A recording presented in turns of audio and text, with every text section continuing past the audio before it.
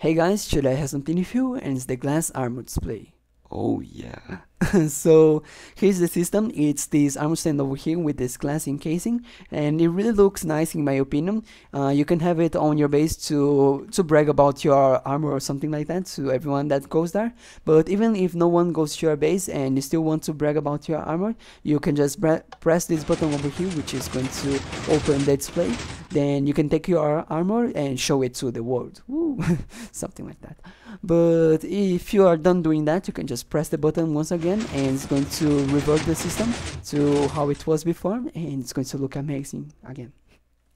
But yeah now what I really like about this system is the opening and the closing animation because as you probably already noticed uh, when the system is closing it's going to push the the glass blocks into the armor stand, but the armor stand is not going to move. And it's going to do that without having to put a block over here or without having to move the armor stand or make explosions or anything like that. Um, but that's that makes a very seamless and very clean opening and closing animation, which is very nice. But yeah, uh, I think that's basically it for the system. So now I think we can go with the rest redstone, shall we?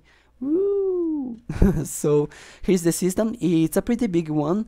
Um, if you want to if you want a simpler version I'm going to show a, a very simple version in the end of the video so stick for that.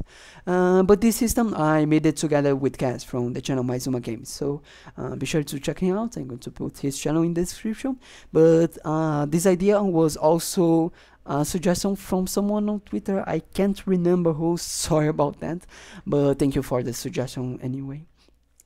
But you probably are wondering how I'm making the glass blocks appear in the armor stand. And some people already guessed it on a video I made two days ago, just a teaser video. And you guessed it right that I was using zero tick pulses right here. And what's controlling the circuit, the zero tick pulses, is the circuit right here. And every time I give it a pulse, it's going to give a uh, zero tick pulse to these pistons right here. And when it does that, it's going to be so fast, the pistons are going to spill the blocks so fast that it's not even going to give uh, time for the for the armor stand to to move, which is pretty useful for stuff like that. And but well, going back to the system over here, oh, uh, well, I don't think there's much more about it to say. Uh, if you if you want to compact it, uh, be my guest. Uh, would very like to see. I would like to see a compacted version of this. And if you make a video, I can even show it on Twitter or I don't know. I can I can mention it. Uh, I can mention it on in description. But well, apart from that, uh, let me just show the simpler design over here.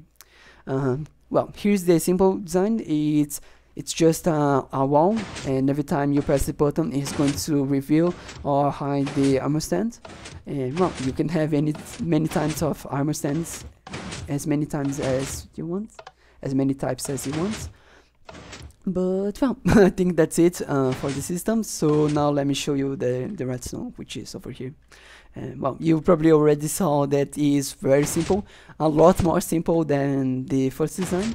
And you can probably already already build it by just looking at it. But if you want a word download i'm going to put it on in the description uh, this design and also the first one.